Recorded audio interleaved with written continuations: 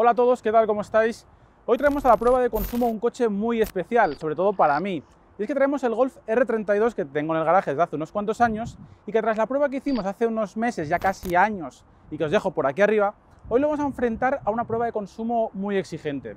Sin duda, este tema, el del consumo, es el que más puede echar para atrás a la gente que se quiere comprar este coche. Así que quizás hoy vamos a desmentir algunos falsos rumores o por el contrario vamos a confirmar que estamos ante uno de los compactos más dragones de todos los tiempos. Así que nada, misma ruta de siempre, ya hemos cargado el depósito, así que nos vamos.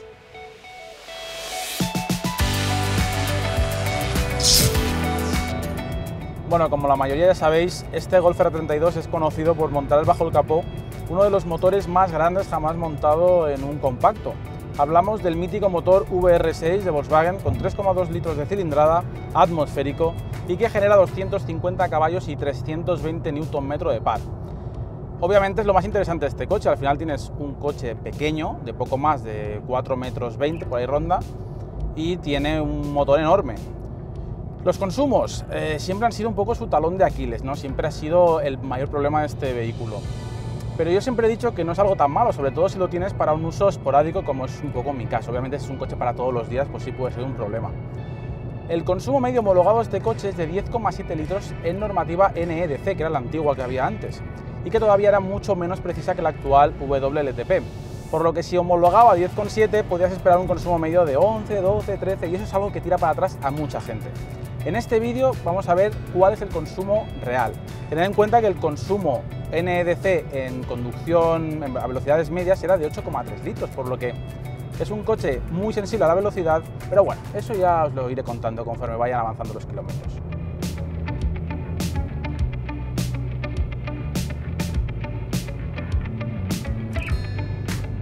Por supuesto, este R32 no cuenta con ninguna ayuda electrónica para conseguir una mayor eficiencia.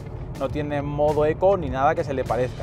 Al final estamos hablando de un coche que salió al mercado a finales del año 2005 y esta unidad de hecho está fabricada en septiembre de ese mismo año, por lo que no esperes botoncito eco ni nada parecido. Lo que sí tiene es un elemento que personalmente creo que ayuda mucho a conseguir un puntito extra de eficiencia y es la transmisión automática de doble embrague y seis relaciones, el DSG. Em, ¿Por qué digo esto? Hay que tener en cuenta que estamos hablando de un motor muy grande, con mucha fuerza y que es capaz de de rodar a muy bajas revoluciones de una manera muy noble y, siempre con la sensación de tener fuerza ¿no? debajo del pedal derecho. Esta, esta caja de cambios, sobre todo en modo 100% automático, siempre busca la marcha más larga porque al final siempre intenta ser lo más refinado y lo más eficiente posible.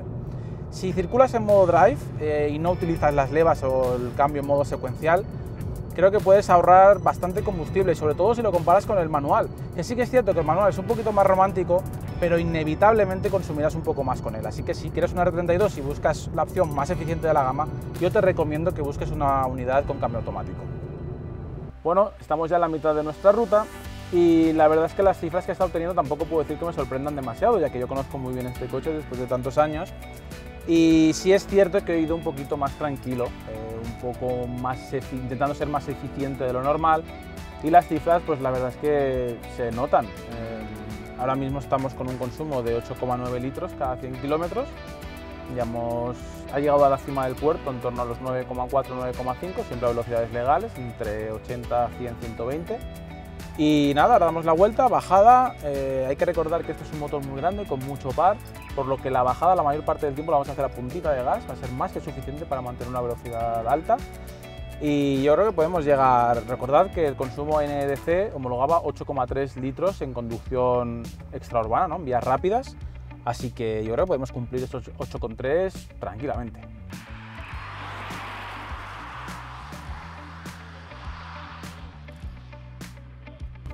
Bueno, pues ya hemos terminado nuestra ruta y tengo que decir que me ha llegado hasta sorprender y eso que es mi propio coche. Bueno, de bajada hemos llegado justo aquí a la entrada de la gasolinera con un consumo medio de 8,1 litros. Si bien ahora la subidita ha subido una décima, pero sigue siendo un consumo que yo considero muy bueno para el, coche que es y el motor que tiene. Tengo que decir que nunca había hecho consumo tan bajo con este coche, pero también hay que decir que nunca había conducido tan eficiente, así que bueno, hay que conducir eficiente, oye, siendo eficiente todo el mundo puede ir un R32. Así que nada, repostamos y nos vamos a hacer la ruta urbana. Algo muy llamativo del R32 es que el consumo medio homologado en ciudad es de 14,9 litros cada 100 kilómetros. Una cifra que bajo mi punto de vista es totalmente exagerada y que mm, obviamente puedes llegar a ella si vas totalmente despreocupado y aceleras mm, contundentemente después de cada semáforo, pero a poco que seas un poquito eficiente puedes conseguir consumos más bajos. Yo lo voy a demostrar, o sea, no, ya veréis que no voy a necesitar mucho para rondar un consumo que sea entre 11 y 12 litros aproximadamente. También hay que tener en cuenta que la ruta que tenemos nosotros en ciudad recorre muchas vías bastante rápidas, avenidas que van muy fluidas y eso también hace que el consumo no sea tan, tan alto. De todos modos, en las conclusiones os daré mi punto de vista y os contaré mi experiencia durante todo este tiempo para que sepáis claramente lo que realmente os va a consumir, más allá de esta prueba que quizás es un poquito extra en cuanto a eficiencia.